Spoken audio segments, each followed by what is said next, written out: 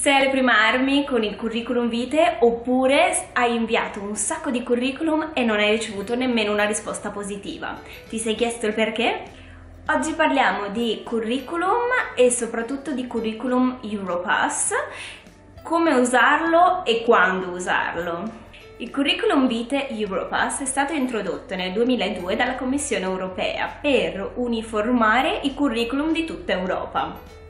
quindi dovrebbe essere uno strumento utile ai cittadini per valorizzare le proprie competenze e venire utilizzato sul suolo della comunità europea. Tuttavia, a meno che non sia espressamente richiesto dall'azienda o dall'ente pubblico alla quale state inviando il vostro curriculum, non è obbligatorio utilizzare questo tipo di formato. Io vi suggerisco di non utilizzarlo, almeno che appunto, come abbiamo appena detto, non venga richiesto espressamente. In Italia ho visto che è abbastanza utilizzato e spesso si richiede appunto di eh, inviare questo tipo di curriculum in questo formato.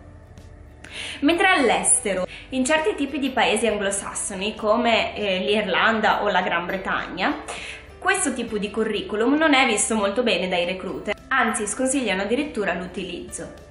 Per quale motivo? Nel passato il mondo del lavoro era di un certo tipo, per cui eh, magari c'erano meno laureati, c'erano meno persone con competenze linguistiche, ora però il mondo è avanzato, quindi siamo in un mondo completamente cambiato, in un mercato del lavoro completamente cambiato. Per cui utilizzare un curriculum che eh, in qualche modo sintetizza eh, le vostre eh, capacità, le vostre competenze e le riduce ad un curriculum uguale per tutti non va più bene. Una volta, come vi dicevo, magari si ricevevano 50 curriculum e solamente in 5 avevano le competenze che l'azienda richiedeva. Ora invece il mondo è sempre più complesso, siamo sempre più globalizzati e le aziende richiedono sempre di più anche quelle che sono le competenze trasversali, ma non solo, richiedono anche degli esempi concreti di come avete applicato le vostre competenze nell'ambito lavorativo. E all'interno di un curriculum come Europass questo è molto difficile. La stessa cosa vale per magari magari i ragazzi che sono più giovani e non hanno varie esperienze lavorative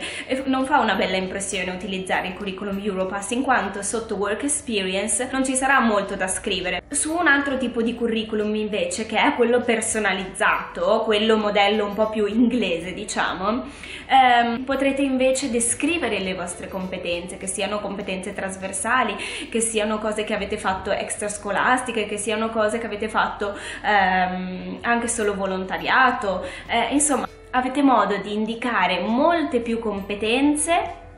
all'interno di un curriculum che sia in qualche modo eh, creato apposta sulle vostre esigenze. Mi raccomando ragazzi, il curriculum è una delle cose fondamentali per cercare lavoro, eh, comunque il vostro biglietto da visita, siete voi in un pezzo di carta, quel, quel, pezzo di carta rappresenta voi e tutta la vostra storia educativa, lavorativa e tutto quello che avete fatto e come siete cresciuti all'interno di un settore piuttosto che un altro. Quindi è molto importante che ci mettiate del vostro e che eh, ci perdiate soprattutto del tempo. Infatti i recruiter inglesi non amano curriculum vitae Europass per un altro motivo, proprio per questo, perché non è personalizzato. Provate a immaginare di essere un, um, selezionatore di un'azienda e ricevere um, 500 curriculum tutti identici. Mm, non è interessante, non è tutti quanti con più o meno le stesse competenze, proprio perché all'interno dello Europass si poteva selezionare eh, le competenze e in qualche modo ti aiuta a scrivere quello che sono eh, le tue skills, quello che hai eh, raggiunto, quindi mh, bene o male magari alcune persone ovviamente trovando quel tipo di frase adatta alla propria persona la inseriva, quindi 500 persone avranno inserito più o meno le stesse frasi, più o meno le stesse descrizioni, ovviamente perché state mandando il vostro curriculum per un tipo di lavoro, per cui anche il vostro curriculum sarà taggato proprio su quel lavoro. Un'altra cosa bella del curriculum è di farselo, quindi non utilizzare i modelli pronti come può essere Europass, è quello di inserire un po' il proprio livello, il proprio metodo di comunicazione, ognuno ha il proprio, per cui anche la creatività stessa del curriculum è importante. Poi ci sono ovviamente delle basi da seguire, quindi magari in, nei paesi anglosassoni la foto oppure la data di nascita non è una cosa importante, mentre magari in una cultura italiana lo è. Quindi è importante magari riuscire a modificare il curriculum in base al posto in cui lo state inviando, per cui in Spagna ci vorrà il curriculum fatto in un certo modo, in Italia in un altro modo e in Inghilterra in un altro modo ancora, eh, proprio perché ci sono delle differenze culturali che è importante rispettare. Come vi dicevo ci sono moltissime competenze e cose che fanno parte un po' della persona, quindi del modo di essere della persona che è difficile esprimere in un curriculum.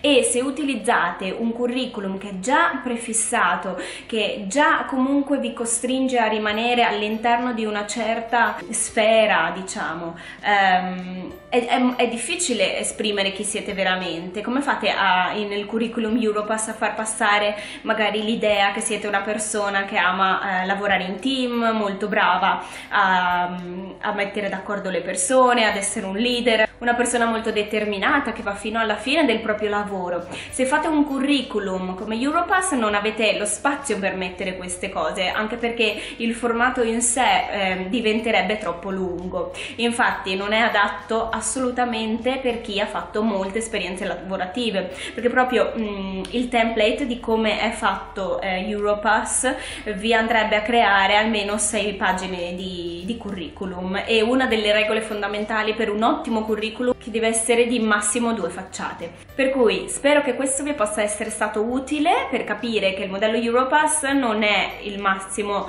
del modello da utilizzare ai giorni nostri con il tipo di mercato del lavoro che c'è ora. Eh, invece cercate di utilizzare dei template di curriculum molto più creativi che vanno a sostenere eh, con esempi quelle che sono le vostre competenze, quello che avete acquisito negli anni, che tipo di esperienze avete fatto fatto inserite tutte le competenze trasversali. Questo vale soprattutto per i ragazzi più piccoli che magari non hanno fatto grosse esperienze di lavoro ma che hanno fatto altri tipi di attività che li porta ad avere comunque delle competenze molto importanti magari ricercate anche dall'azienda. Per cui mi raccomando ehm, provate a fare il vostro curriculum creativo invece di utilizzare il modello Europass prestampato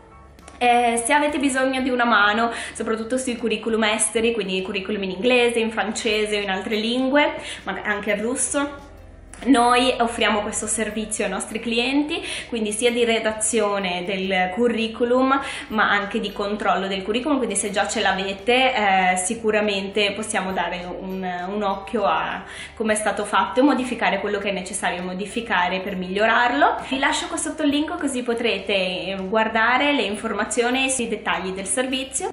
Vi ringrazio per aver guardato questo video, fate subscribe qui sotto, mettete un pollice in su se vi è piaciuto questo video e rimanete con noi perché durante questi mesi ci saranno moltissimi video di questo genere sul curriculum, la cover letter, il colloquio di lavoro, ehm, molti video quindi interessanti che spero vi possano dare uno spunto e good luck per il vostro nuovo lavoro.